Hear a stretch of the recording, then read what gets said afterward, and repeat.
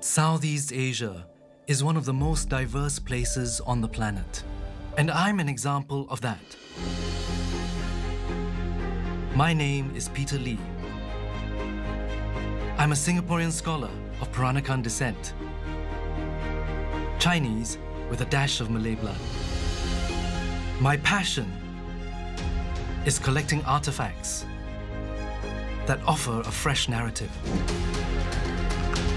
I'm setting off on a new journey, traveling further back in time to explore how the region's mighty empires have shaped our collective identity.